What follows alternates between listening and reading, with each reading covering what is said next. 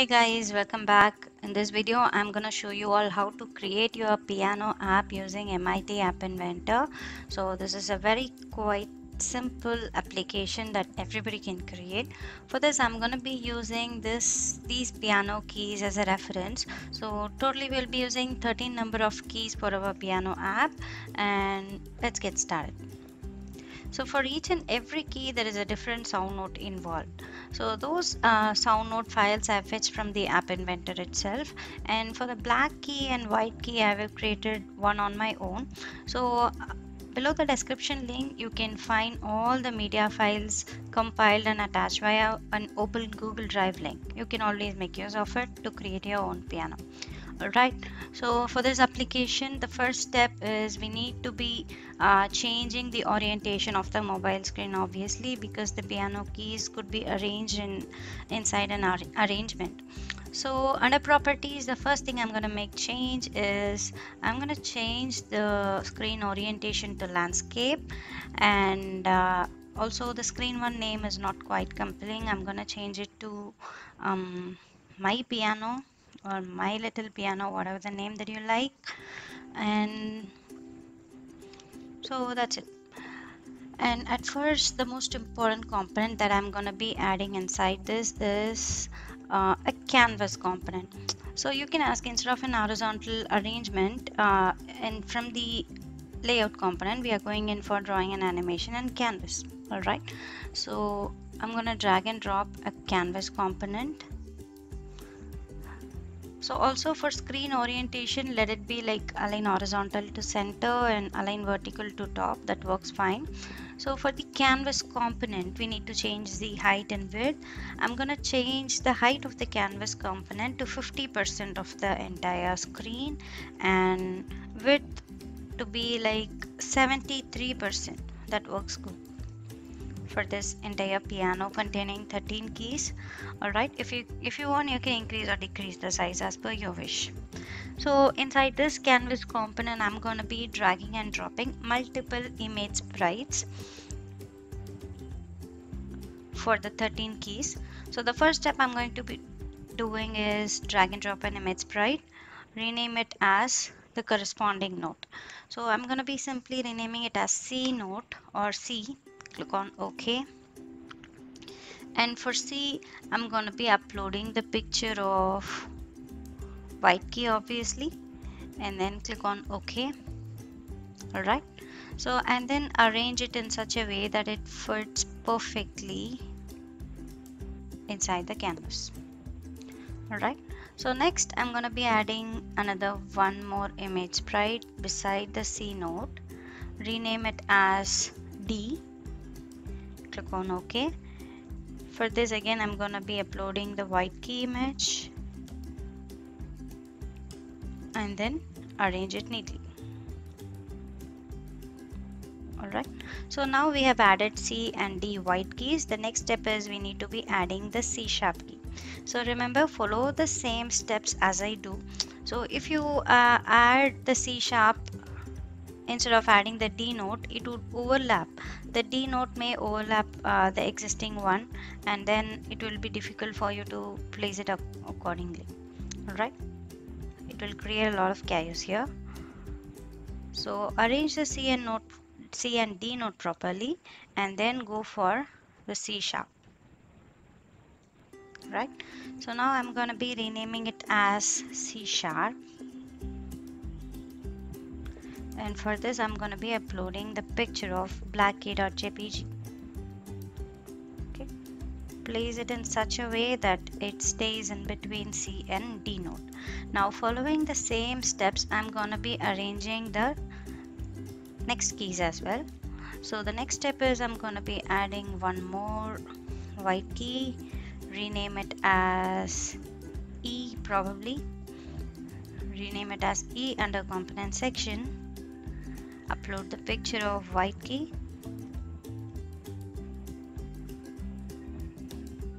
arrange it. And then one more image sprite in between D and E. Rename it as D sharp. And then upload a picture of black key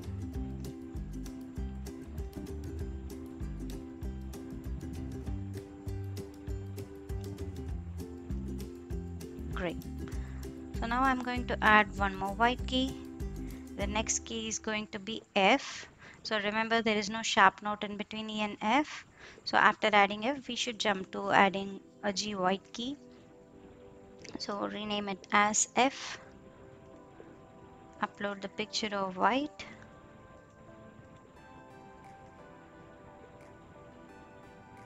Arrange it nicely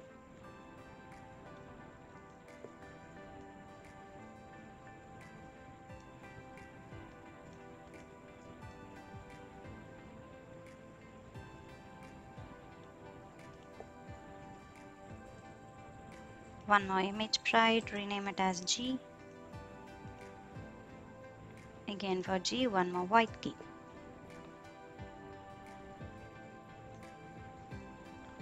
And now one F sharp in between F and G. Rename it as F sharp. For F sharp key upload the picture of black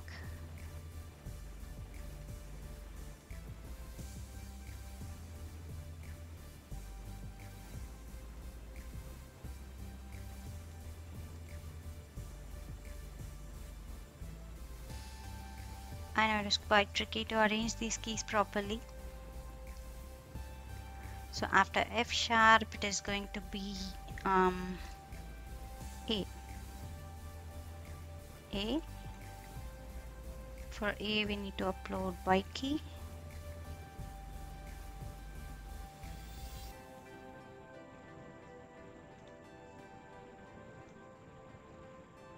Add one more sharp and that is going to be renamed as yes G sharp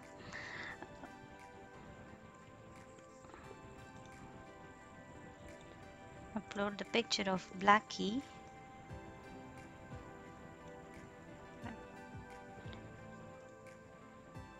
so in this way I'm gonna finish the rest of the keys as well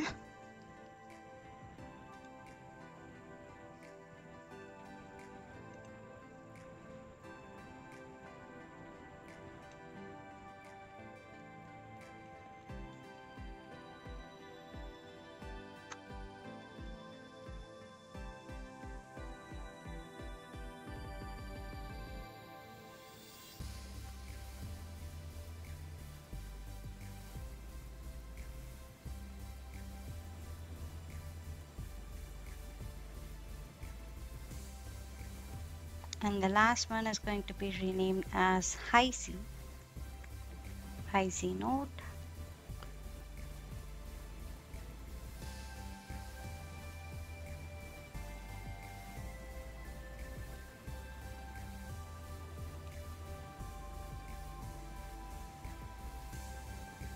So that's it. We have created our own piano. And now the next step is we need to add a notes label so that every time the user presses on each key of the piano the corresponding note could be displayed below the piano image. So for this I'm gonna be adding a label component and place it below this canvas. I'm gonna be renaming the label as notes label. And for these notes label you can change few properties. First I'm gonna change the text as notes and then if you want you can increase or decrease the font size and make some changes.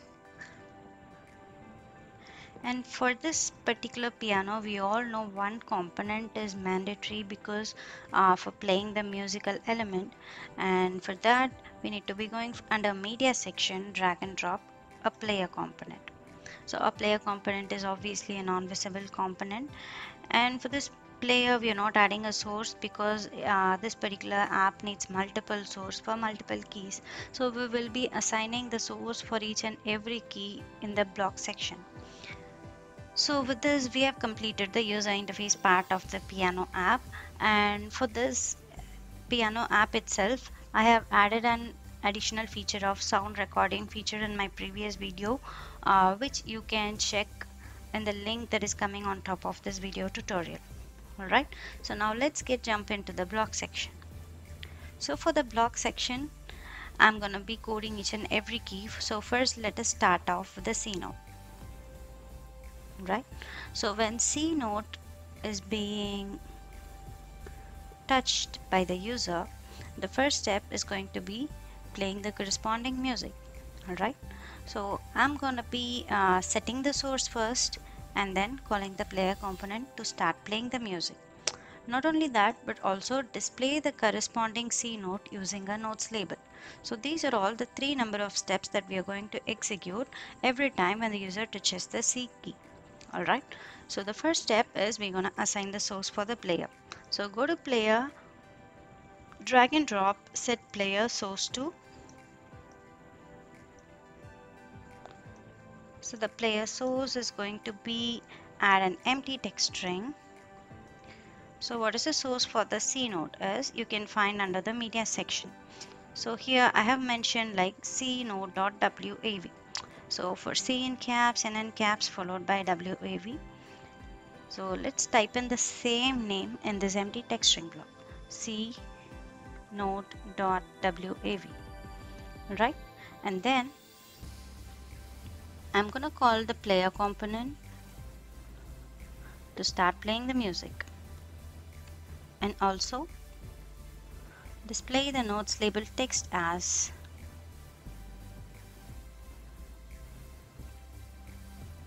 C. Right? So now we can follow the same number of steps for each and every key for all the 13 uh, keys right? You can simply repeat this set of blocks for the other 12 keys as well. But instead I'm gonna be making a simple uh, programming change here. So we are gonna add some complex programming concept here called functions. So in your regular coding language we call it functions. Here in this app inventor we call it a procedure. We're going to create a procedure and call that procedure over and over again for all the number of keys we are using all right. So I'm going to go for the procedures and then make use of this block called to procedure do block. So I'm going to create a function called play note or in simple terms we can call I'm going to create a procedure called play note. And this particular procedure or a function requires an input to perform properly which is which note is being pressed by the user at that corresponding time. Alright, so first I'm gonna be making use of all these blocks inside the procedure but instead of C note and C I'm gonna generalize the set of instructions alright? So first I'm gonna be making use of this join text block.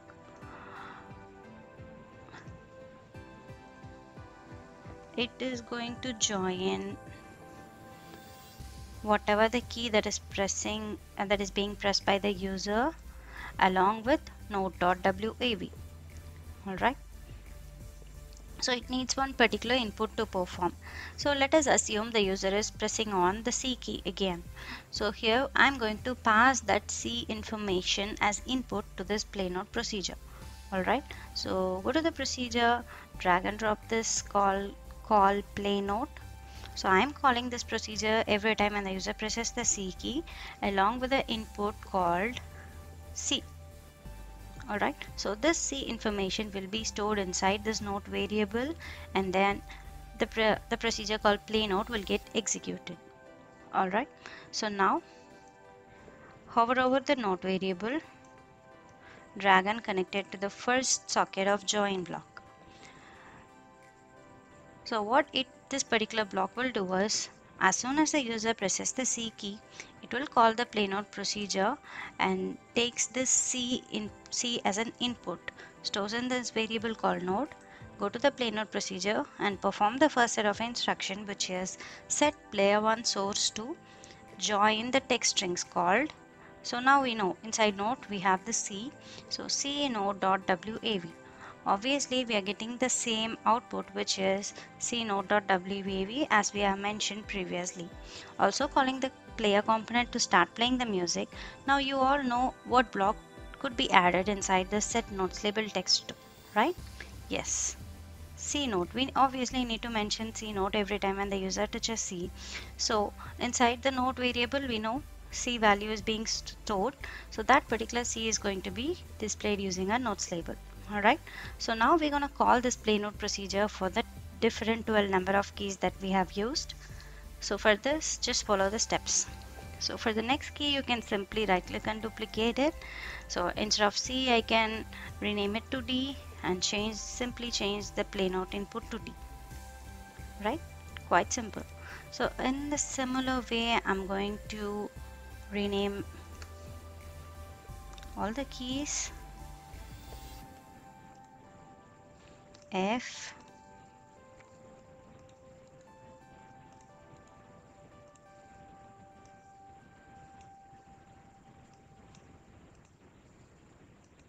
G.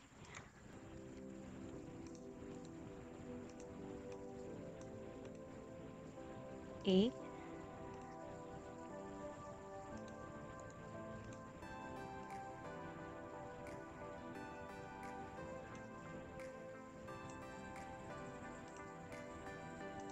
B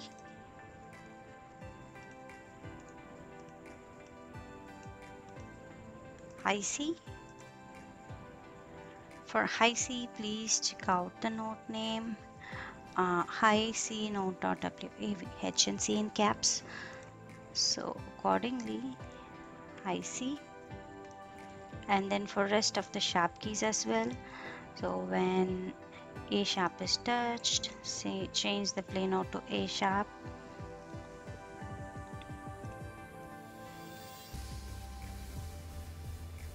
C sharp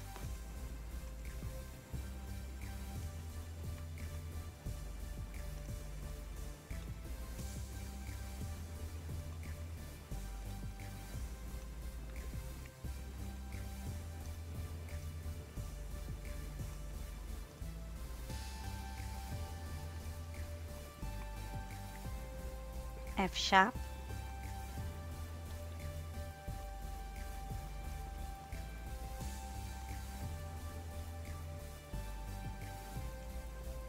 And then finally G sharp. So that's it. Also before proceeding please count the number of keys you have added. It's like 1 2 3 4 5 6 7 8 9 10 11 12 13 so totally 30 number of keys we have uh, programmed so far so we have completed this entire program. Uh, you can check check out the output. Uh, also before that I would like to give you a simple suggestion. So before proceeding into copying all the keys and then doing changes I would always encourage you to do a cross check connect it with your Android app check out the output and then proceed with the rest of the blocks. Okay even if any one of the block is getting error it will be difficult for you to change entirely right? So now you can check out the output for that. Go to connect click on AI Companion scan the QR code and then you are ready to go. So now let us see the output for this particular piano app